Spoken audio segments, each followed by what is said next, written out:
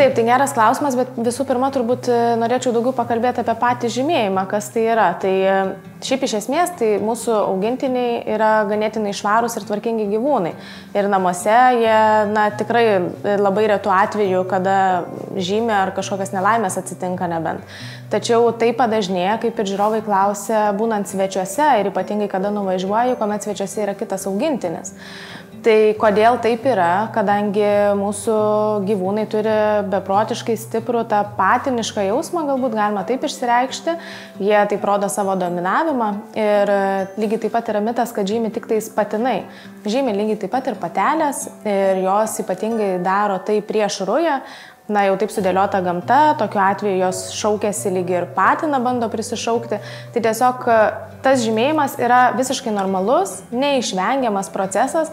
Tiesiog mums, kaip augintinių šeimininkams, reikia mokėti su tuo susitaikyti, prisitaikyti, suprasti, kad tai nėra mūsų auklėjimo bėda, tuo labiau nebausti augintinių, bet tiesiog naudoti būtent pagalbinės priemonės, kurios yra tam sukurtos.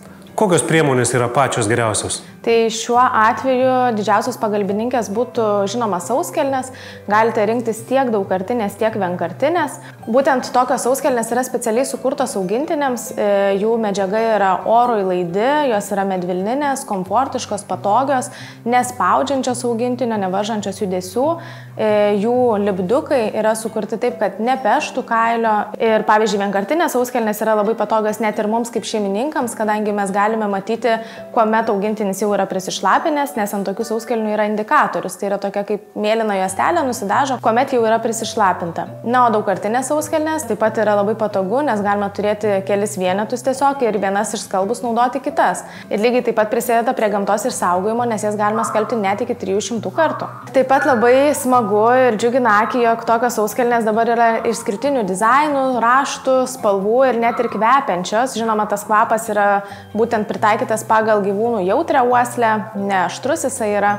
Ir tiesiog tokios pasaulinės tendencijos ir būtent tokie sukurti produktai jau rodo e, inovatoriškumą ir kad turėtume pakeisti požiūrį į augintinių priežiūrą, nes ne veltui tokios priemonės yra kūriamos ir tiesiog lygiai taip pat kaip savo vaikams iki tam tikro amžiaus dedame sauskelnes, nes negalime paaiškinti, kur ir kada tai daryti, tai lygiai taip pat ir augintiniams e, tikrai turėtume naudoti ir tiesiog tokios priemonės mums kaip šeimininkams yra didžiulė pagalba. O tarkim, purškalai skirti šlapimui taip pat padeda atpratinti nuo šlapinimuose? Tai žinoma, kad veiksmingi, e, tik tais e, tokiu atveju purškalas yra gerai tuo met, kada jūs galbūt ar pamirštate uždėti sauskelnes, ar įvyksta tiesiog nelaimė dar jų neuždėjus, arba jeigu kalbant apskritai apie būti su augintiniais kartu ar ne namuose, tai toks purškalas yra būtina priemonė, nes ne tik tai išvalo patį kvapą, bet ir panaikina dėmę. Ir kodėl ši priemonė skiriasi nuo kitų purškiklių, būtinių, kuriuos mes naudojame būtyje, tai tiesiog jo sudėtyje yra probakterijų, kurios Kitaip tariant, suvalgo tą šlapimo baltymą, augintinis nebeužuodžia savo šlapimo, nebenori žymėti toje pačioje vietoje. Ir ši priemonė yra visiškai saugi naudoti tiek namuose ant baldų, tiek ant drabužių ir užuolaidų, kilimų ar kitų paviršių.